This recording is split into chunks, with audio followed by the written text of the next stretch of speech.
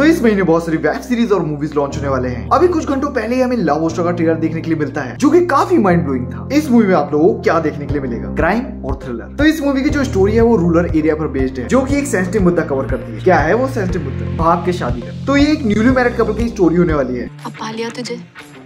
बाकी सब बेमानी है। दुनिया इधर की उधर हो जाए बिल्लो। तेरे साथ बेईमानी कभी नहीं करूँगा।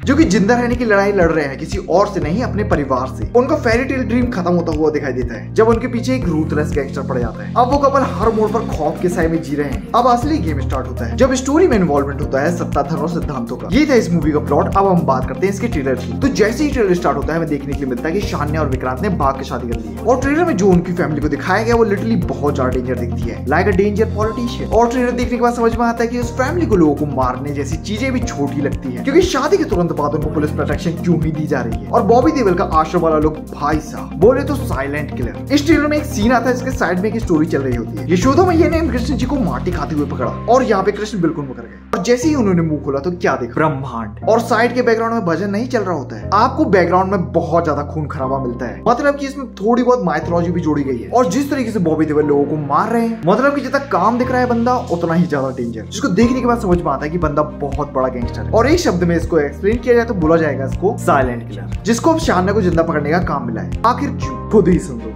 ज्योति मुझे ज़िंदा वापस चाहिए। अपने हाथों से काटूँगी।